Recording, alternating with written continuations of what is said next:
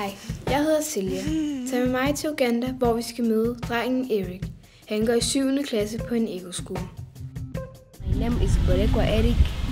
I'm in P7 class. Erik er med i skolens Eco Pupils Parliament. Det er det, der svarer til et miljøråd på de danske skoler, der har grønt flag. It is important to conserve the environment. Erik er meget optaget af miljøproblemerne i sit land. Det er blandt andet plastikaffald, der fylder i naturen, og som det er svært at komme af med. På skolen har de derfor bygget en ovn, så de kan brænde affaldet af. This is an example of firewood.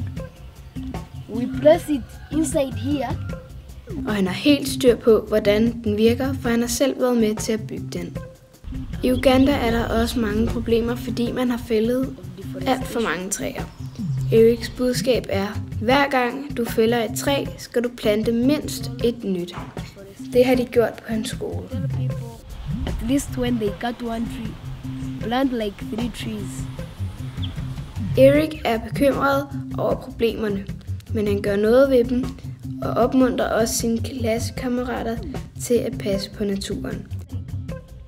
Han fortæller mig, at hvis han kunne sige et budskab til ledere i vores del af verden, så er det, at vi skal stoppe med at forurene luften. Vi har viden nok til at vælge andre løsninger end dem, der forurener og belaster klimaet, mener Erik. Og vi har en verden til fælles, så vi skal alle gøre noget. I want to be an, an, an MP. Erik drømmer om at blive medlem af Ugandas folketing. Måske at blive miljøminister en dag, så han kan komme videre og gøre noget ved de problemer. Indtil da arbejder han videre i skolens miljøråd og suger viden til sig om løsninger på miljøproblemer og klimaforandringer.